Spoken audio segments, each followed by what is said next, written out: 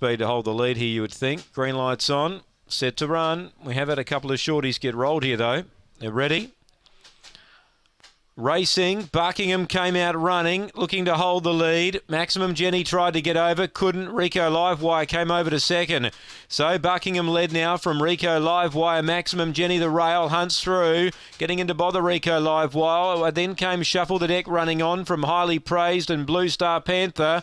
Buckingham's clear of Maximum Jenny, late down the outside, Shuffle the Deck. But Buckingham wins. Maximum Jenny, I think, second from Shuffle the Deck. It's a close go, that minor issue. Blue Star Panther, Rico Livewire, and highly praised last in. Should be one, maybe four, and seven. Stand by, 23.05 the time. Buckingham the winner. Now four does get second, Maximum Jenny. So she'll put some value into the Quinella spot. Seven, Shuffle the Decks got third. And five, Blue Star Panther fourth. Maximum Jenny, she's ready to win. She'll find the right race sooner rather than later. Um, she's gone down by two lengths tonight, though. Buckingham never in doubt. Two by half ahead. One, four, seven, and five. Run home in 14.32. 23.05 the time for Buckingham. So the Stamenkovic kennel pick up a double here tonight. Run home in 14.32.